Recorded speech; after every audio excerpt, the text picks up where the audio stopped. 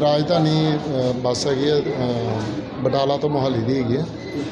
ਇਹ ਇਧਰੋਂ ਬਟਾਲੇ ਤੋਂ ਅ, ਮੋਹਾਲੀ ਸਾਈਡ ਗਈ ਸੀ ਤੇ ਉੱਥੇ ਕਾਦੀਆਂ ਰੋਡ ਤੋਂ ਥੋੜਾ ਕੁ ਅੱਗੇ ਜਾ ਕੇ ਨਾ ਕਾਦੀਆਂ ਚੁੰਗੀ ਤੋਂ ਕਰੀਬ 2 ਕਿਲੋਮੀਟਰ ਸ਼ਾਹ ਸ਼ਾਹਬਾਦ ਦੇ ਲਾਗੇ।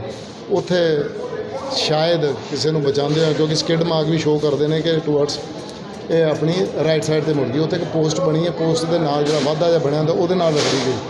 ਉਹਦੇ ਨਾਲ ਇਹ ਹੈ ਕਿ ਰਾਈਟ ਸਾਈਡ ਦੇ ਜਿਹੜੀਆਂ ਸਵਾਰੀਆਂ ਸੀ ਉਹਨਾਂ ਦਾ ਜ਼ਿਆਦਾ ਨੁਕਸਾਨ ਹੋ ਗਿਆ।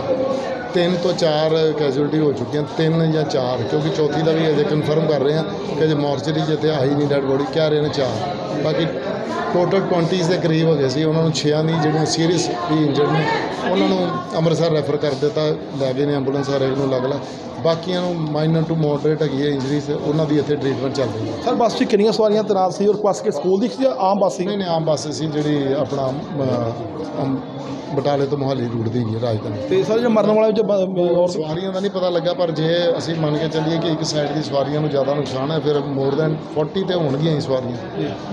ਕਿਉਂਕਿ ਇਸ ਵੇਲੇ ਮੇਨ ਸਾਡਾ ਉਹ ਇਹ ਨਹੀਂ ਹੈਗਾ ਕਿ ਓਵਰ ਕਰਾਊਡਡ ਜਾਂ ਬੱਸ ਕਰਕੇ ਕੁਝ ਹੋਇਆ ਹੈ।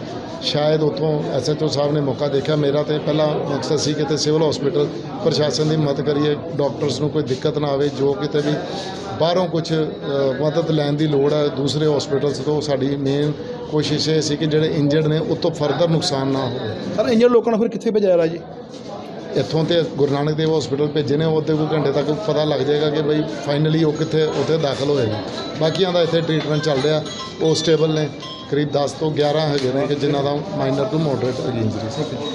ਕਾਲਜ ਤੋਂ ਛੁੱਟੀ ਹੋਈ ਸੀ ਕਾਲਜ ਤੋਂ ਆ ਰਹੇ ਸੀ ਅਸੀਂ ਡੇਲੀ ਆਈਦਾ ਇਸੇ ਬੱਸ ਹੀ ਆਈਦਾ ਕਿੱਥੇ ਦਾ ਕੰਸਟੈਂਟ ਹੋਇਆ? ਸ਼ਾਹਬਾਦ ਲਾਗੇ ਕਿੰਨੇ ਵਜੇ ਤੱਕ ਜ਼ਖਮੀ ਹੋ ਗਏ ਕਾਫੀ ਜਾਣੇ ਹੋਏ ਨੇ ਵੀ। ਜਿਹੜੇ ਡਰਾਈਵਰ ਦੇ ਪਿੱਛੇ ਵਾਲੀ ਸਾਈਡ ਬੈਠੇ 3 ਸੀਟਰ ਦੇ ਬੈਠੇ ਉਹ ਸਾਰੇ ਜ਼ਖਮੀ ਹੋਏ